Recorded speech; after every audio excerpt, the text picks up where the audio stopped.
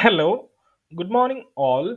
Today in this video, we are going to discuss regarding a widget in Odoo that is Boolean toggle widget in Odoo. So currently in the screen, you are seeing Odoo version 15 community edition where we are continuing our Odoo 15 development tutorials. So in the screen itself, you can see we have got an extra menu and under that we have another sub menu called tags.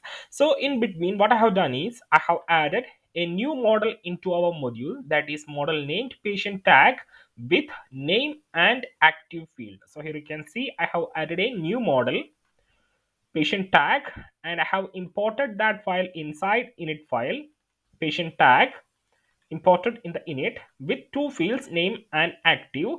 And also i have given the security for that is i have given the security for the newly created model and i have created a new file patient tag view.xml file where i have added a tree view for the patient tag a form view a menu action and a menu here called tags for that and I have added a main menu configuration in the menu.xml file. So in this video, what we will be discussing is that, let me just adjust an indentation here. So in this video, what we will be doing is that we will be discussing about widget boolean toggle.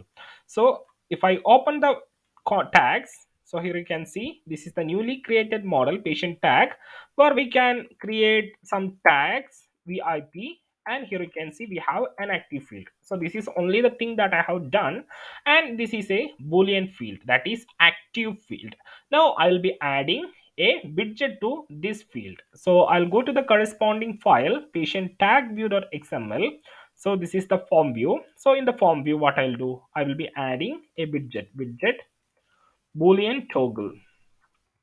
Boolean toggle.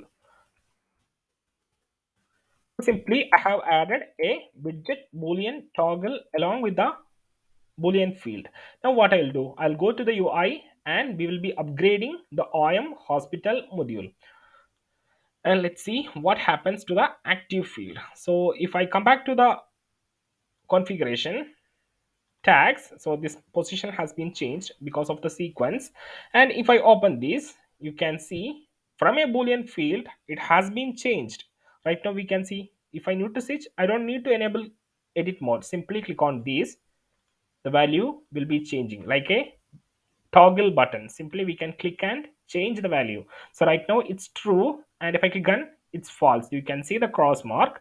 And if I tick selected, you can see true.